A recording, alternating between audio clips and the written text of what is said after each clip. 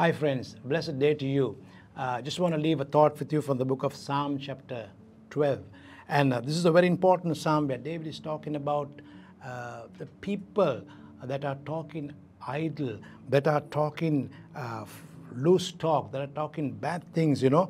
And uh, he goes on to say, May the Lord cut off all these flattering lips, all these people who are doing these things. And that's what David is trying to say. Lord, if people are doing this, I mean, uh, just cut it off, right? And he, he goes on says in verse 5 For the oppression of the poor, for the signing of the needy, now I will arise and says, Oh Lord, uh, I will set him in the safety for which he earns.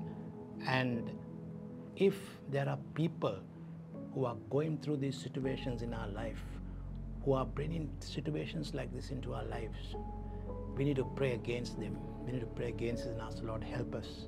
And I believe that this Psalm, chapter 12, as you read it, will be a blessing to you. It'll be a strength to you. And you will ask the Lord for help, friends. Whatever you're going through, just rely on the Lord. God bless you.